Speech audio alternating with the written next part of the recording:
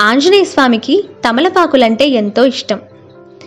దేవాలయాల్లో ఆంజనేయ స్వామికి తమలపాకులతోటి రకరకాల పూజలు చేస్తూ ఉంటారు.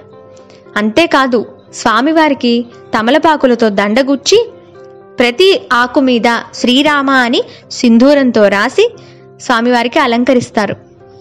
ఎందుకు ఆంజనేయ స్వామికి తమలపాకులంటే అంత ప్రత్యేకమైన ఇష్టం? దాని వెనక ఉన్న కారణాన్ని తెలుసుకుందాము. లంకా దహనం అయ్యాక హనుమంతుడి ఒంటి మీద ఎన్నో గాయాలయ్యాయట. అప్పుడు శ్రీరామచంద్రుడు ఆయన పక్కన కూర్చోబెట్టుకుని గాయాల మీద తమలపాకులను ఉంచాట.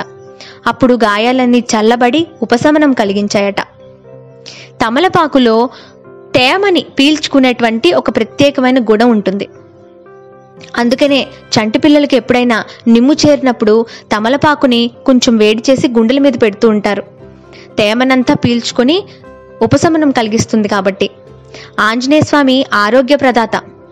కాబట్టి ఎవరైనా అనారోగ్యంతో బాధపడుతున్నప్పుడు ఆంజనేయ స్వామికి తమలపాకులతో కనుక పూజ చేసినట్లయితే మనస్ఫూర్తిగా ఆయనకు నమస్కారం చేసుకున్నట్లయితే అనారోగ్య సమస్యలు తొలగి ఆయురారోగ్యాలు అష్టైశ్వర్యాలు అభివృద్ధి సిద్ధిస్తుందని పురాణాలు చెప్తున్నాయి.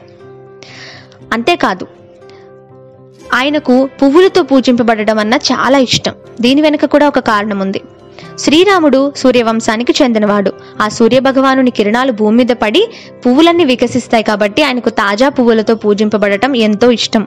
హనుమ జయంతి రోజు మంగళవారాలలోనూ ప్రత్యేక సందర్భాలలోనూ స్వామిని సింధూరం రంగు పువ్వులతోటి అలంకరిస్తారు పూజిస్తారు కూడా.